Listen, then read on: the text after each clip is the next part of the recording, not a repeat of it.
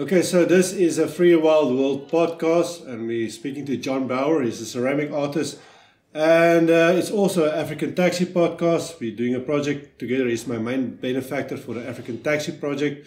So this is just a nice chat with John, and we're going to discuss the other project as well.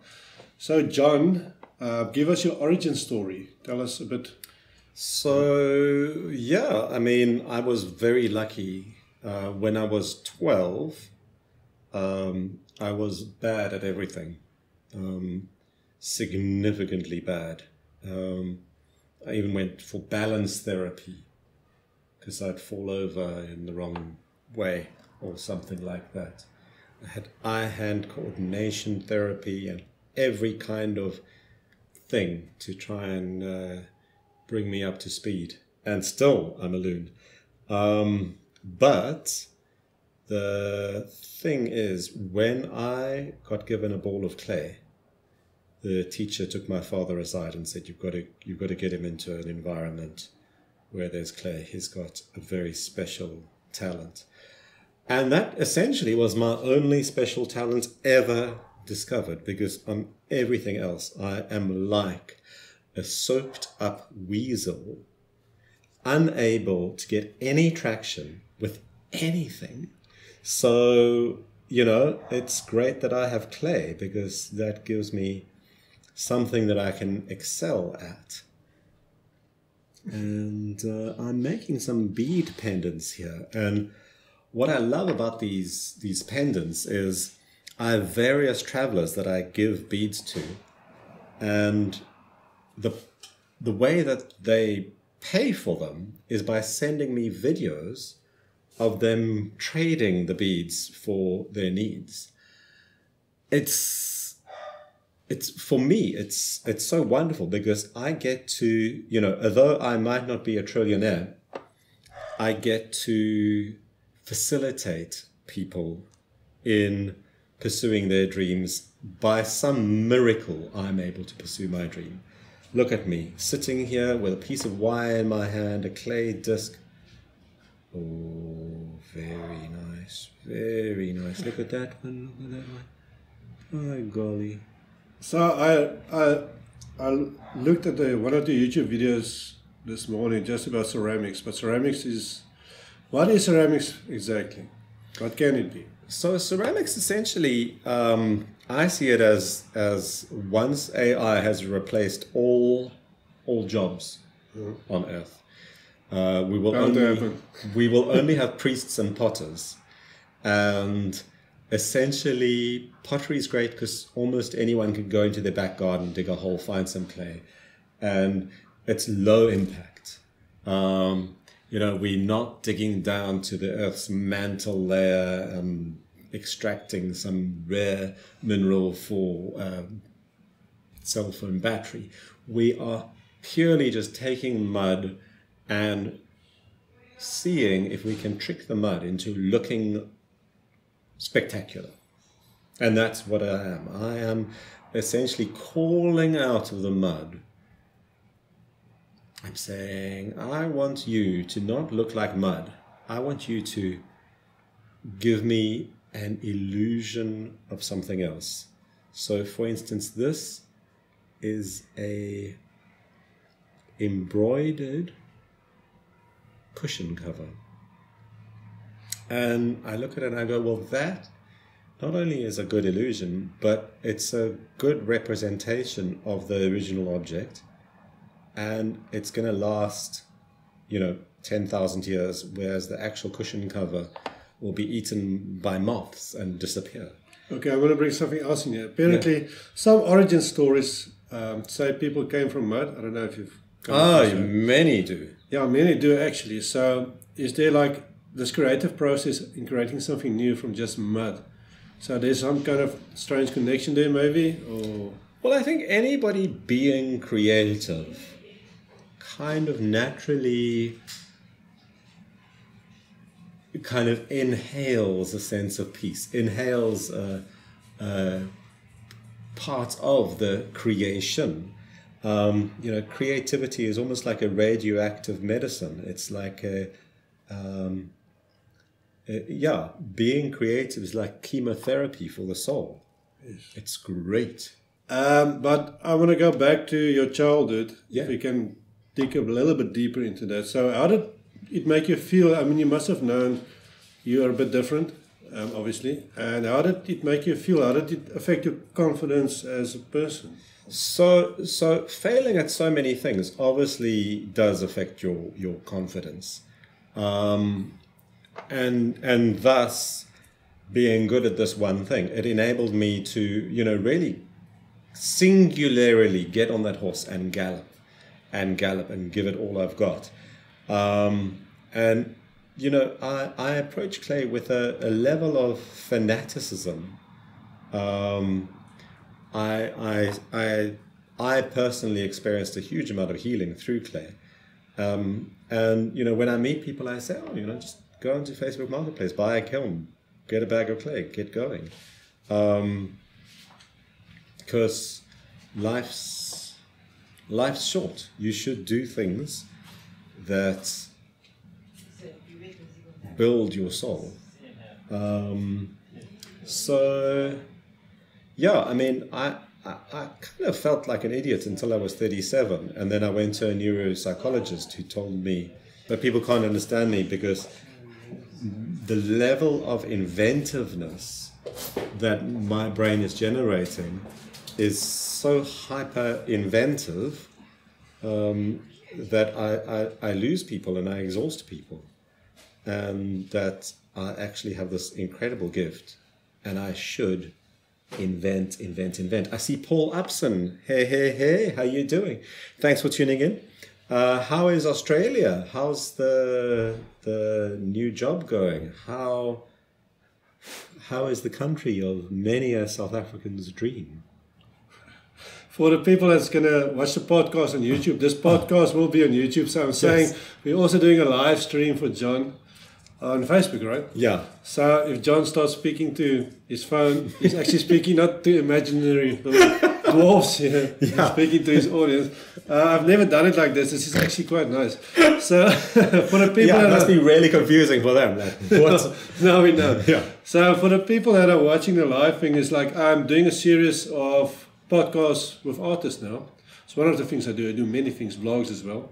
And you're welcome to go and watch it. Check it out. It's YouTube, and uh, the channel is Free Wild World. You'll get vlogs, and this podcast should be there up there in a few days. And that brings me to the next little project I'm doing with John. Uh, a few years ago, I had this idea to travel through Africa with minibus taxis because I traveled in Mozambique and Malawi with minibus taxis, and it's such a unique way of experiencing Africa because you're in between the, the hustle and the bustle, and it's uncomfortable and sometimes a bit dangerous, but it's exciting. And you meet the real people. It's a real raw way of seeing Africa. And John is helping me to do more of this. So eventually, I wanted to go straight through Africa, but that's not practical now. So I'm going to do weekend trips, taking minibus taxis to places and recording videos vlogs and interviews people and podcasts in towns and that's all going to be on the youtube channel and there's a separate channel just for that which is called african taxi So, if you're wanting to promote your small town, Yeah. what you can do is you can message Chris and say, "Hey, come to our town, come and do some videos," and um, you know, you could even sweeten the deal by saying, you know, like we'll we'll give you some free accommodation, or you could sweeten the deal by even saying, "And we'll cook you dinner."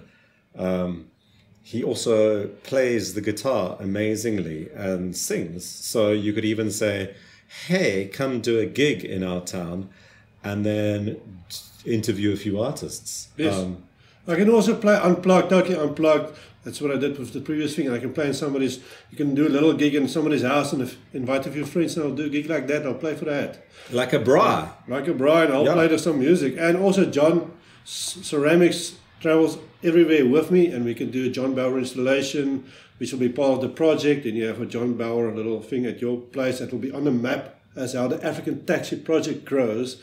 It will be all over the place on the map. There will be this John Bauer installation. So we send uh, to your small town some matchbox tiles that Chris puts up, and um, that then becomes part of the global route. So you can look on Google Maps and say where where are the nearest John Bauer tiles, and then go to that site and look at them. And as more people travel um, haphazardly and chaotically, you know, I like the idea of people just, it's like falling down a staircase. It's random, it's uncurated, it's just, Life as it is. yeah, And what happens, happens. Uh, it's not overproduced. It's just what happens, and it's a surprise and a reveal, and nobody knows what's going to happen. So that was the African Taxi Project. And for the podcast viewers, I will title all the details in here. I'm starting to develop the website, and there will be loads of info there. But let's get back to John Bauer because it's actually this is, podcast is actually supposed to be about John. uh, where were we? Yeah, so I mean, I was so blessed to discover clay.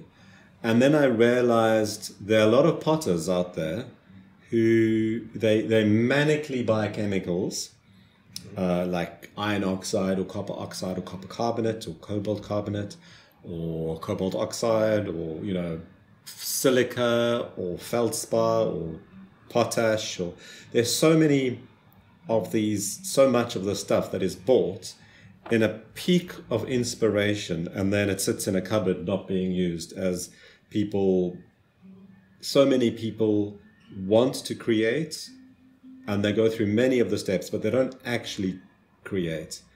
And then you know after many years of this these chemicals have to find a new home they they need the space they they might be moving house and they say well you're not going to move all of this stuff and so then I'm gifted with all of these chemicals. And that fueled essentially my early career because I removed the cost of failure because everything was given to me for free. And so essentially, the more work I made using up these chemicals, I was serving the environment. So I was approaching it with how do I develop my talent, which you know, I think is a relatively good approach for any person to approach a creative um, experience. And then, secondarily, I was saying, how do I serve the environment? How do I serve my community? How do I serve the future? And then, also another thing that's my making philosophy is don't don't suffer because the thing is that when success comes, if you've been suffering in the small time, big time success will kill you because you won't be able to keep up. So work in a way which is peaceful, tranquil, and that embodies the experience that you hope to have. Because essentially, as a creative person, you choose you are the creator and you are creating your making experience. So, by golly, make sure that it's an enjoyable making experience. No, no patron of the arts wakes up in the morning every morning looking at a painting and says, He bled while making that artwork. He lost 40 kilograms. He went through hell and I am thrilled. No. They look at a painting and they go, This is the zenith of human civilization. This is the highest state of all humanity. So if you are not experiencing the highest state of all humanity while making your art, you're doing it wrong. And like, I know we shouldn't tell people they are wrong. You know, that's a social faux pas. But I'll, I'll happily say to artists who are in a perpetual state of suffering,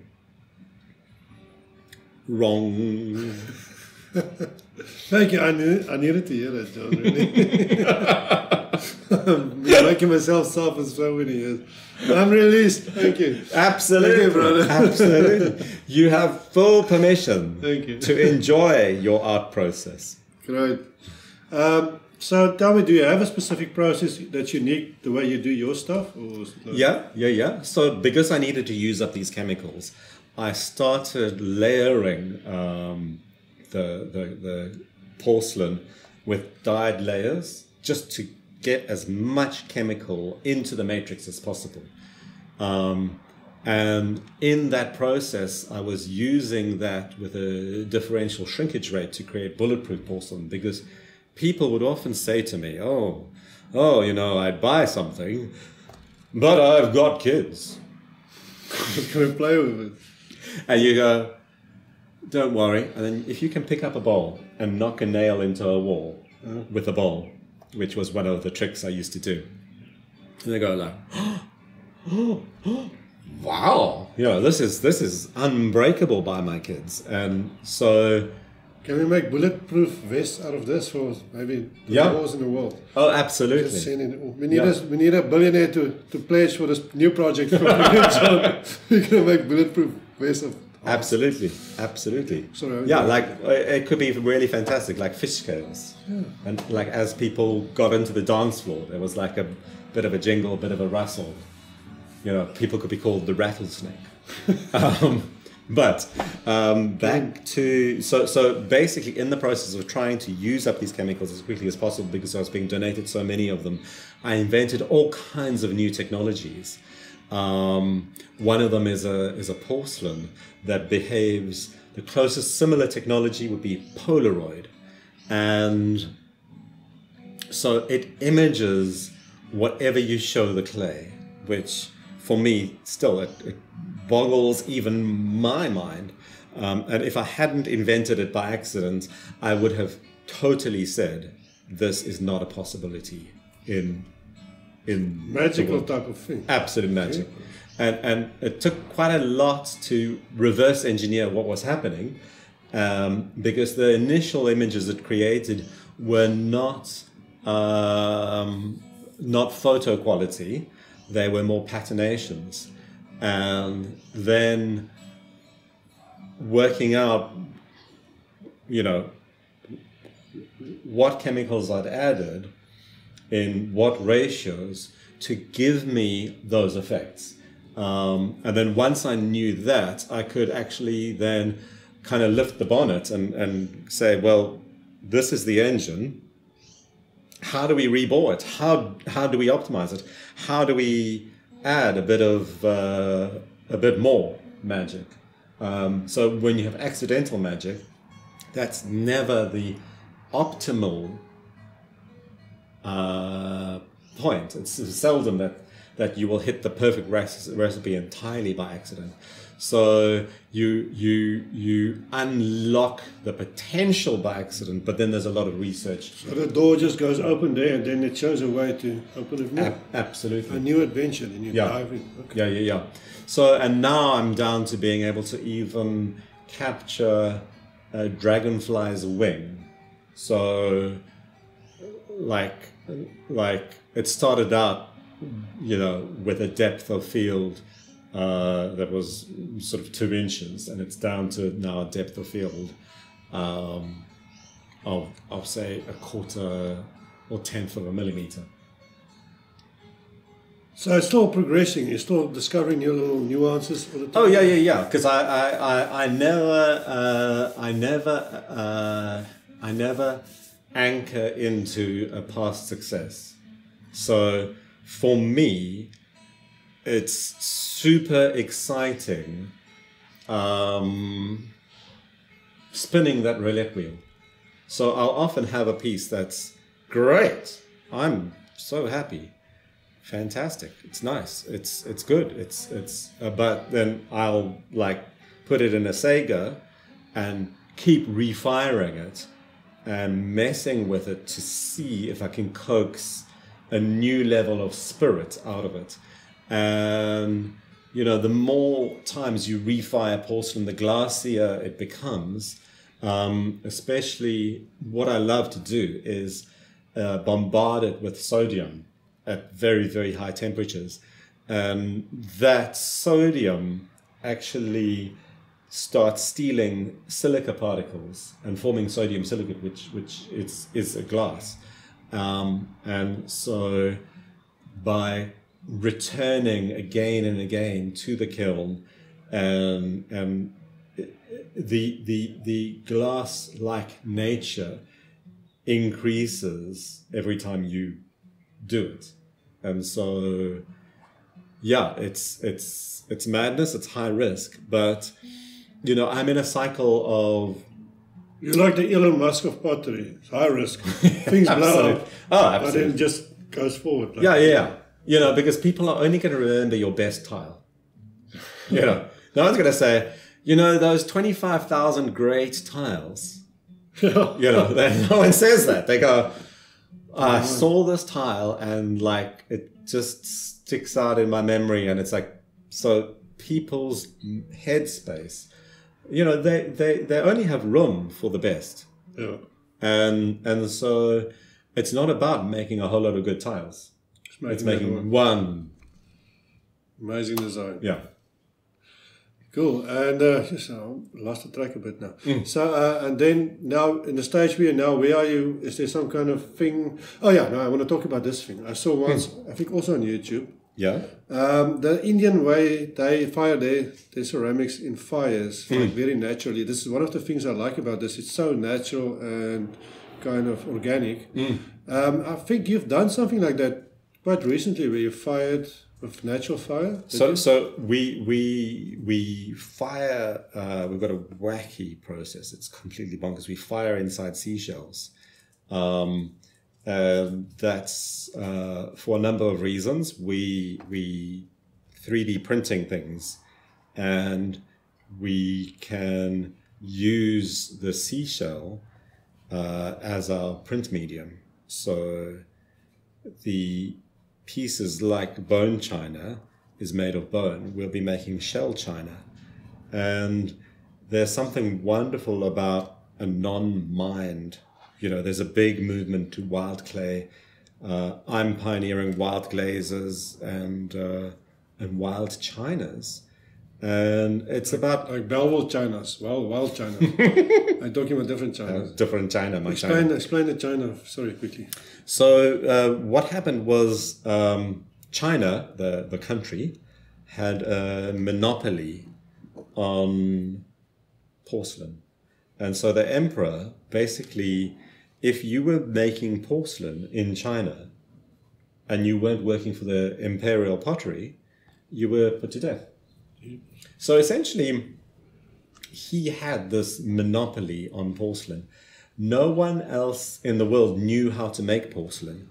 And this was at a stage where people were eating off plates that were earthenware and crazed and housing an enormous amount of bacteria in these cracks. And so people spent their life vomiting and um, whistling through their bottoms.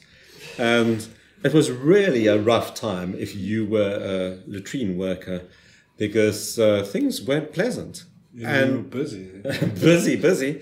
And then what happened was uh, porcelain hit the scene, and people stopped being reinfected by their by their plate that they were eating off, and um, suddenly these people they felt really good, and and their bodies were able to absorb nutrients properly, and they weren't always sick, and people honestly believed that porcelain made you immortal because they felt so good. If you've spent 50 years of your life feeling really Like shit. dodgy and suddenly you're eating off porcelain plates and you feel great, you feel better than you felt This. At at 70 than what you felt at 20. And so these people, like 70 year olds, felt that they were young and, and healthy. And this was just crazy.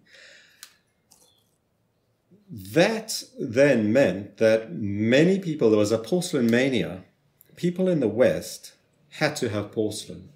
And so the only place they could get it was from the imperial potteries in China. And he refused to accept payment in anything other than silver. So he was draining the world's silver into China. And it was this trade imbalance that was really, really concerning. Enter uh, every aristocratic family across Europe and England employed their best alchemists to develop a clay that mimicked porcelain. And so what they eventually did was um, in these experimentations, somebody tried adding 90% bone ash. It, it was actually a miscalculation. He meant to add two ounces and he added two pounds. Um, well, he instructed his assistant, but he, he somehow committed some sort of spoonerism or muddled his words. And um, so as a result, uh, what happened was two pounds were added instead of two ounces, and bone ash is a flux. But in this instance, there was so much flux and so little other material that bone ash is stable by itself. It's only in the presence of the of the silica that it it fluxes the silica and causes the glass to form. So basically, what this created was a wall that was um, in, entirely calcium with tiny amounts of silica in between that melted and gripped everything and pulled it together, and hence the birth of bone china. This mm. substance, which you know he had predicted would be a glass, uh, a, a, a pool of glass, turned out to actually have rigid walls, survive the firing, and able to accept a glaze. Um, not very good with thermal shock. That's why the British always add the milk first to your teacup and then the tea. So it, it, it has become something that has affected us, even though we don't have uh, bone china teacups anymore because now porcelain is so widely used. Um, people still say, oh, milk first. Interesting. Yeah. Oh, wow. Hmm? I thought it was fashion, so there's actually a practical reason why it started. Mm, technical reason, yeah. It's amazing. Yeah. Already, this is an amazing podcast. yes, so yeah, and we about to embark on uh, 3D printing of uh, burner nozzles. We're going to be 3D printing whole rooms as well. Uh, I'm working on a technology uh, where we print the house, we print the insulation, we print the burners. It's it's really is like quite a um, exciting project for me because um, ever since age 16 I heard about a fired clay house in India in the town of Auroville, Pondicherry uh, and later I made a pilgrimage to go and look at this house and absolutely loved this house and wanted to build one myself uh, and bought land in Bathurst, Salem, and Gouda. And even um, in, in the process, um, built uh, a cob house up to roof height. Um, the real dream is to work with fire and fire a clay house. So holding thumbs, so to say. I like the ambition. Fantastic. Yes. Right, that will be amazing. Yeah. can have a bit of an AfrikaBurn party around it, maybe. Well, at least a marshmallow eating competition. at least. Get a marshmallow sponsor.